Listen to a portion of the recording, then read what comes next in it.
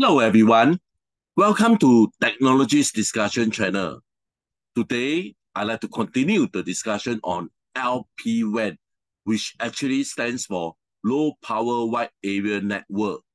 Earlier on, I have mentioned that I have decided to break the LPWAN discussion into three sessions. The first one will be LoRa, second one will be Sigfox, and the third one will be MBLT. For this video, I'm going to concentrate on LoRa. What will be the topic? Okay, the first discussion will be the LoRaWAN roadmap. So I'm going to explain how this LoRaWAN actually evolved into a technologies that is excite everyone in the wireless connectivity. Next, I'm going to discuss the difference between LoRa and also LoRaWAN. You'll probably hear sometime on LoRa and also sometime on LoRaWAN.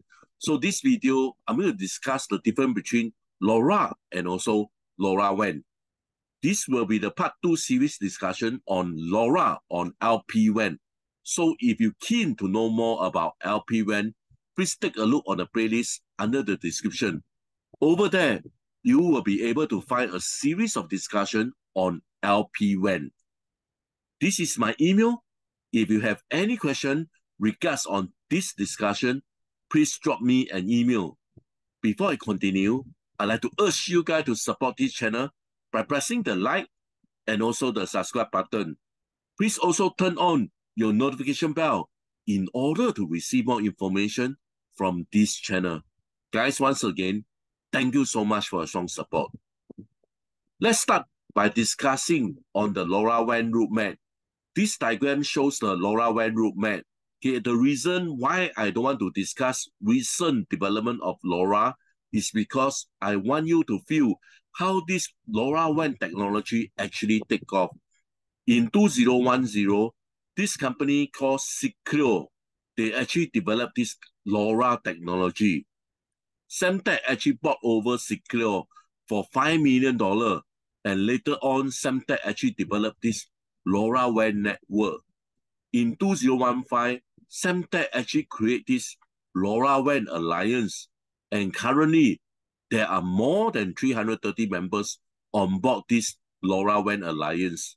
And this alliance, the numbers of partners actually keep on increase. Amsterdam become the first city that is fully covered by LoRaWAN network in 2015. A year later, okay, all the French territory, they are all covered by LoRaWAN network. This actually happened two years after Sigfox. Can you imagine the tedious or the challenge to cover the whole France? LoRa actually take a very short time in order to achieve all French territory that is fully covered by LoRaWAN network. What is the key difference between LoRa and also LoRaWAN? Just in case you guys mistook that LoRa actually used to name after a girl, but in short, LoRa actually stands for long range. The L-O-R-A actually come up the name called LoRa.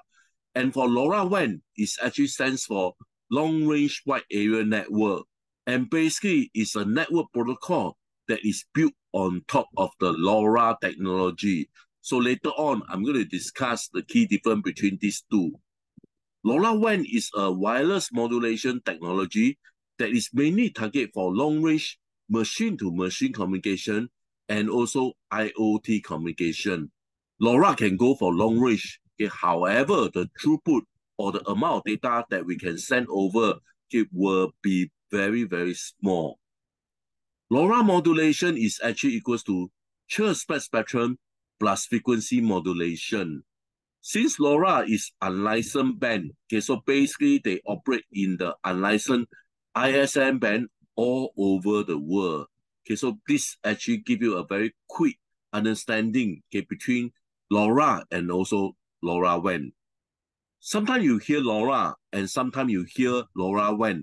So what is the difference between LoRa and also LoRaWAN?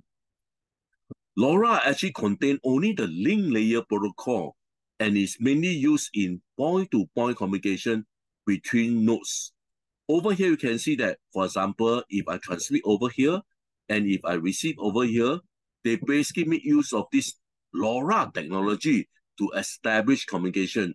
So LoRa is actually a technology that used to describe how we can actually send this data over a long range. So basically, this is the meaning of LoRa. LoRaWAN actually contain the network layer.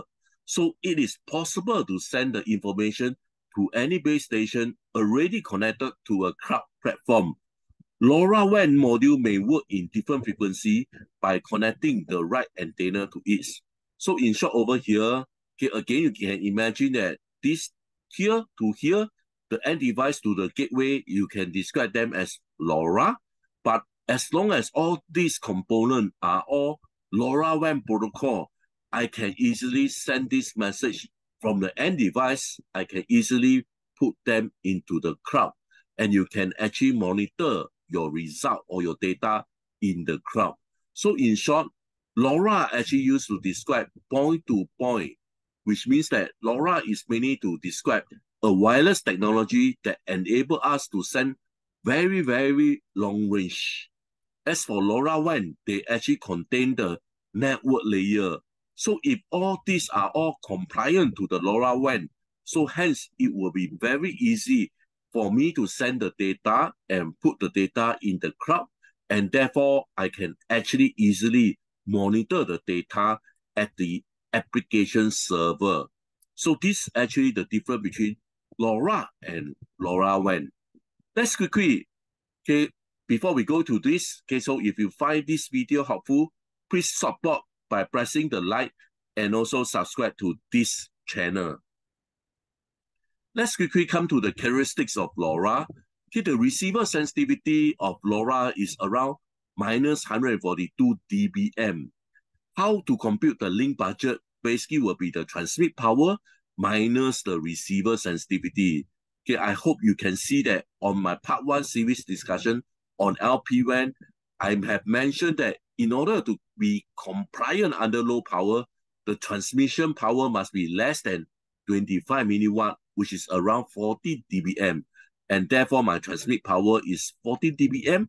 I have my receiver sensitivity. Okay, I can actually compute that my link budget is equals to 156 dB.